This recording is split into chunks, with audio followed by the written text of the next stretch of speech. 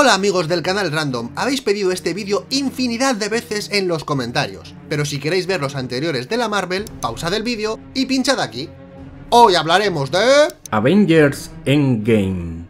Dentro vídeo. Tony Stark pasa el tiempo con Nebula dentro de una nave que va a la deriva y graba un mensaje para Pepper despidiéndose de ella, ya que se están quedando sin oxígeno. Casualmente aparece Capitana Marvel, que no sabemos qué anda haciendo allí ni cómo los encontró, y los lleva directamente a la Tierra. Lo que no sé es cómo consiguió llevarlos tan rápido, ya que recordemos que estaban a punto de quedarse sin oxígeno y muy cercano estaban. Una vez con sus compañeros, Tony se pone a hablar con ellos y tira un plato porque la cuchara cambió entre plano y plano. Localizan el planeta donde se encuentra Thanos, así que el siguiente paso es ir allí, derrotarlo y traer a todos los desaparecidos de vuelta. ¿Qué podría salir mal? Total, que se van en la nave y todos llevan el cinturón de seguridad menos Thor. ¿Por qué? ¡Si aún no está gordo! Thanos estaba preparando una sopita de verduras, pero llega Thor y le corta el brazo. Resulta que las gemas no están, ya que las ha destruido. Banner le pide explicaciones al calvo malvado, mientras Máquina de Guerra y la Capitana Marvel le inmovilizan. Pero cuando le empuja, ¡está libre! ¿No lo teníais inmovilizado? A Thor se le va a la cabeza y deja a Thanos sin la suya, así que como no hay nada que hacer, damos un salto de 5 años. En San Francisco, una rata casualmente es capaz de activar el dispositivo que trae de vuelta a Scott Lang. Pero alguien apagaría la máquina en su día, ¿no?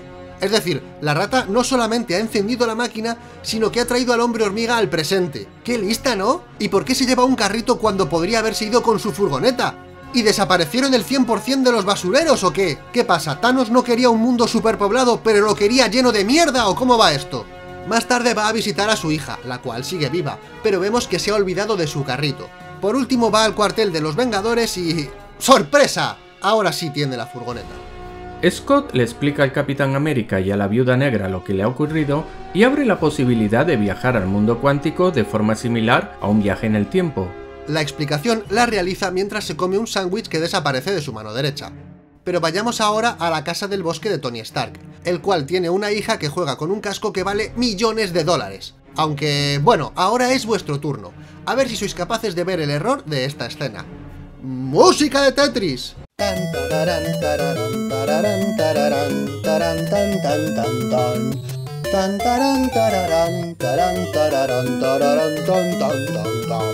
¡Eso es! Tony tiene un peluche en la mano y luego está en el suelo. ¡Realismo!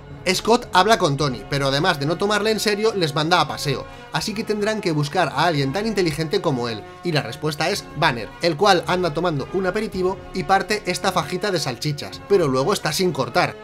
Y de nuevo vuelve a estar partida en dos.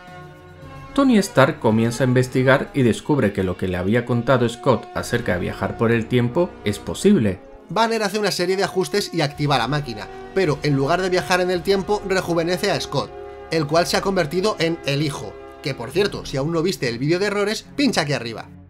Como Tony sabía que Banner iba a meter la pata, llega al cuartel, y además de dárselas de listo, le entrega al capitán un escudo. Mientras tanto, Scott intenta comerse un taco, pero el aterrizaje de la nave le interrumpe y le tira el vaso, el cual vemos levantado en el reflejo y posteriormente en el suelo. Como Scott es un poco parguela, Banner le regala dos tacos y volvemos a ver el vaso levantado otra vez. Banner y Rocket se dirigen a Nueva Asgard en busca de Thor, el cual se entretiene amenazando a niños rata en el Fortnite y bebiendo botellines de cerveza que cambian de mano eh, pues porque sí. Mientras tanto, Viuda Negra recluta a Ojo de Halcón, que andaba matando a Yakuzas random. Por cierto, ¿qué pasó con el dispositivo de su tobillo? ¿Ya cumplió la condena? Por lo visto, cambiar el pasado no hará que cambie automáticamente el presente, así que el plan es encontrar las gemas del infinito y luego devolverlas para que no se creen líneas temporales alternativas. Así que, amigos de Regreso al Futuro, nos habéis engañado. Los Vengadores trazan un plan para determinar la fecha y el lugar al que viajarán para poder llevarse cada una de las gemas. Una vez decidido, van a buscarlas. Nueva York, 2012. La ciudad está siendo atacada por los Chitauri, así que Banner aprovecha para pedirle la gema a la calva malvada, que es el personaje que nos han puesto para explicar lo de las líneas temporales. Al mismo tiempo, Tony recibe un golpe cuando se llevaba el Tesseracto y Loki escapa. Hombre, eh, no sé, ¿llevan algo tan importante y peligroso en un maletín que se abre con un golpe? ¿En serio? Se suponía que el plan era llevarse las gemas y devolverlas al mismo lugar después de haberlas usado. Pero entonces, ¿qué pasa con este Tesseracto que se ha llevado Loki? Se acaba de crear una nueva línea temporal, ¿no? Seguimos en Nueva York. donde el capitán se enfrenta contra el capitán en la lucha por la siguiente gema, la cual está en este maletín, aunque vemos que se ha teletransportado junto a los capitanes. Durante el forcejeo se cae la brújula con la foto del agente Carter, y vemos que los cristales que están alrededor se multiplican. Cuando el Capitán América está a punto de ser derrotado, menciona a Marta, o sea, a Bucky, perdón, así que el Capitán del pasado se despista y es vencido. Morag, 2014. Al llegar a este planeta ocurre algo extraño. La nébula de 2014 recibe imágenes de la nébula del presente. Lo raro es que la otra no se entera de nada, cuando se supone que hay una conexión entre ellas. Una vez con la gema, Máquina de Guerra se va con ella, pero Nebula queda atrapada por su conexión con la otra Nebula. Eh, vale, en fin, que la capturan y le quitan la partícula PIM que llevaba. Asgard, 2013. El plan es extraer la gema del cuerpo de Jane Foster a través de un extraño aparato que tiene Rocket. Esto se lo han sacado totalmente de la manga. ¿Cómo es posible que hayan inventado un aparato que pueda hacer eso cuando los asgardianos no tenían ni idea de cómo hacerlo? Thor llama a su martillo, y parece ser que sigue siendo digno a pesar de estar más gordo que el Pimpinelo. Como Loki huyó con el Tesseracto y a nuestros amigos les quedan pocas partículas PIM para viajar en el tiempo, deciden ir a 1970 a por ambas cosas. El cómo se infiltran en una base militar y llevan uniforme es todo un misterio. El capitán adivina dónde están las partículas y se las lleva, mientras Tony se lleva el Tesseracto. Por cierto, esta señora del ascensor debía ser la abuela de Samuel L. Jackson porque son iguales. Hola, soy la abuela de Samuel L. Jackson. Suscríbete ahora para conocer la iniciativa Canal Random. Una duda que tengo, ¿con los viajes se curan las heridas mágicamente o cómo va esto? Bormir, 2014. Clint y Natasha se encuentran con Cráneo Rojo, el cual les dice que si quieren la gema tendrán que perder aquello que más aman. Entonces se pelean por suicidarse. Si yo estoy ahí, la pelea termina en 5 segundos, porque no me peleo, dejo que el otro se suicide. En fin, finalmente la que gana es Viuda Negra, aunque esto me resulta muy confuso. O sea, ¿no se supone que tienen que perder lo que más aman? Lo que más quiere Clint es a su familia, no a la viuda. En fin, que por conveniencia del guion, recupera la gema. Los Vengadores regresan, y Clint les dice que la viuda se sacrificó, pero se les pasa pronto, y Tony crea un guante capaz de canalizar el poder de las gemas. Mientras tanto, la nébula del pasado se ha hecho pasar por la otra, y prepara la máquina del tiempo para poder traer a Thanos y compañía. Se suponía que hacían falta partículas PIN para un viaje en el tiempo, y Nebula ya usó la suya para volver, con lo que no queda muy claro cómo es posible que traiga una nave. Además, también se suponía que era una partícula por persona. Banner se pone el guantelete y chasquea los dedos, con lo que vuelven a la vida todos los que murieron con el chasquido de Thanos, incluida la mujer de Clint, que le llama por teléfono. Eh, ¿tras 5 años su móvil sigue teniendo batería? ¿Han estado pagando la línea durante 5 años por si acaso esa mujer volvía? Bah, eh, da igual, Thanos bombardea el cuartel de los Vengadores. Clint recoge el guante y huye de unos aliens random, mientras tanto la Gamora del pasado se une a la nébula del presente. Llega el momento del enfrentamiento con Thanos, así que el Capitán, Thor y Iron Man se enfrentan al calvo malvado.